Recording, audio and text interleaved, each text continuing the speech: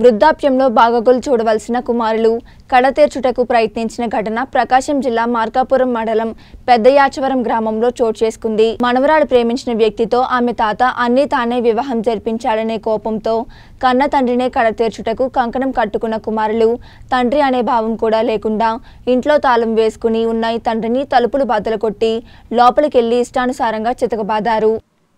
కుమారులు దాడి చేయడంతో కనపడిన గాయాలైన తండ్రి కొంగులేటి జార్జిని స్థానికులు చికిత్స నిమిత్తం మార్కాపురం జిల్లా వైద్యశాలకు తరలించారు. వివరాల్లోకి వెళితే మండలంలోని పెద్ద యాచవరం గ్రామంలో కొంగులేటి జార్జి తన మనమరాలు తన సామాజిక వర్గానికి చెందిన వ్యక్తిని ప్రేమించడంతో ఈ నెల ఆరో తారీఖున పెళ్ళికి సహకరించాడనే నెపంతో కుమారులు ఇద్దరు కలిసి ఇంటిలోనికి ప్రవేశించి తండ్రిని పిడిగుద్దులతో గుద్ది కాళ్ళతో తనడంతో సొమ్మసిల్లి పడిపోగా స్థానికులు మార్కాపురం జిల్లా ఆసుపత్రికి తరలించి వైద్యం అందిస్తున్నారు. వైద్యుల సమాచారం మేరకు రూరల్ పోలీసులు కేసు నమోదు చేసి దర్యాప్తు చేపట్టారు.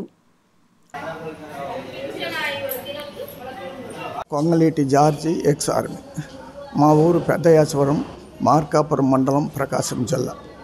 నేను ఇరవై సంవత్సరాల ఆర్మీ చేరి రిటైర్ అయ్యాను.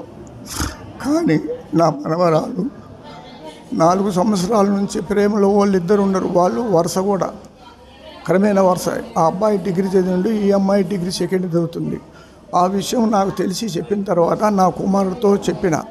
చెప్పిన తర్వాత నా కుమారుడికి ఇచ్చేది లేదని నా మనవాళ్ళని కట్టె తీసుకొని బాగా కొట్టిండు. ఏడ్చుకుంటా నా దగ్గరికి వచ్చింది.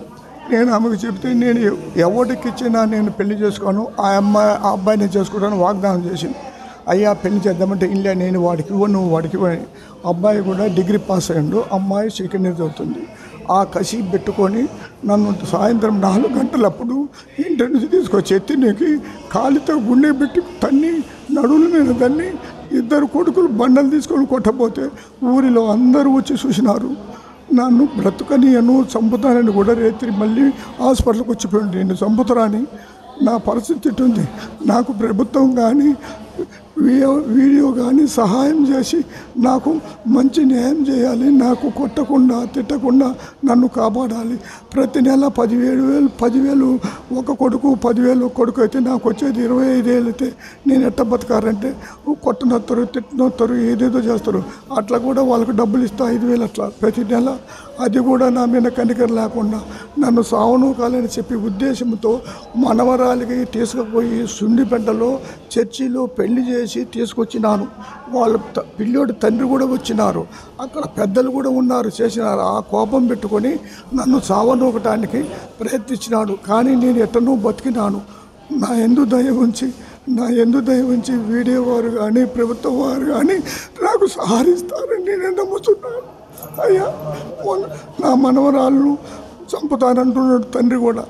ఆడ ఉండేయను వాడికాడ సంసారం చేయలేను కూడా అంటుండు. నా మనమరాలు ఆమె డిగ్రీ చదివింది. భర్త మంచివాడు మంచివాడు మంచివాడు.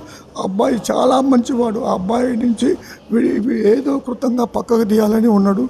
వాళ్ళు లక్షణంగా ఉండరు మ్యారేజ్ అయినాల్సి రోజు తగాలు పెట్టుకొని వాళ్ళ తల్లిదండ్రుల మీద కొట్టబోతాడు. మా ఊరి పక్కలే మా ఇంటి పక్కలే మాకు క్రమమైన వరసే. వాళ్ళు బోధాల వాళ్ళు మేము కొమ్యూనిటీ వాళ్ళము. మా ఊర్లో అందరూ కూడా కొమ్మలిటి టోలు బోధలు చేసుకుంటారు. అబ్బాయి చాలా మంచివాడు చక్కటి